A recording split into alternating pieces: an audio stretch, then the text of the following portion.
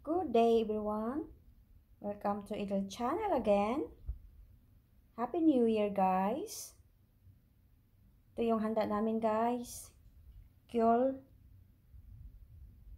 At saka yung ayan. Kanjang chicken. Ito lang dalawa yung handa namin sa New Year. Wala kaming ibang handa.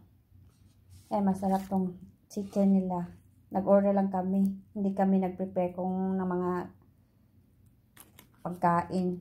Hindi katulad sa atin, sa Pinas na napakasaya at saka maraming handa.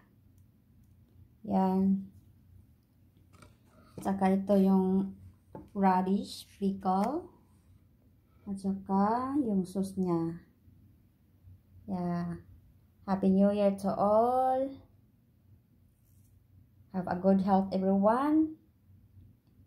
May your new year be prosperous and all of us should become healthy always.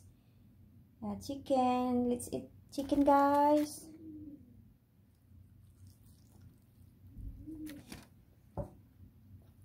Yan, kinain ko na yung ano, isa sa New Year na handa. Thank you for watching, guys. Bye bye.